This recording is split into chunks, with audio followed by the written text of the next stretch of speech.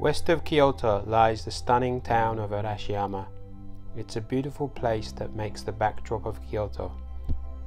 It's easy to see why it's a popular cyclist destination.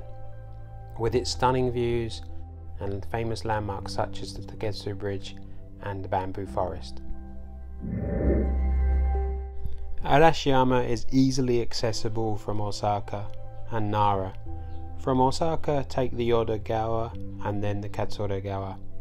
The paths are smooth and clearly signposted, but it's not necessarily an easy ride for beginners. Headwinds are common on both the Yodogawa and Katsuragawa.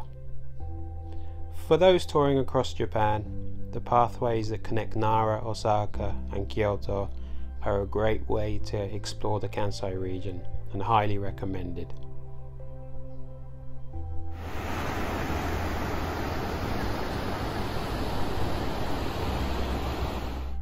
If you are riding from Osaka and back in one day, then there's probably only enough time to see a few sights.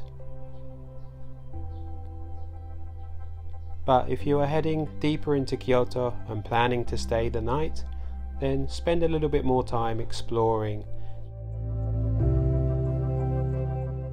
Why not even stop off at a coffee shop and enjoy the atmosphere? The thing that I love the most about riding into Arashiyama along the Katsura River is that it's like sneaking in the back door. No matter how busy Arashiyama can get, it feels like us cyclists have our own exclusive VIP gateway. It's a great way to get there. Thanks for watching.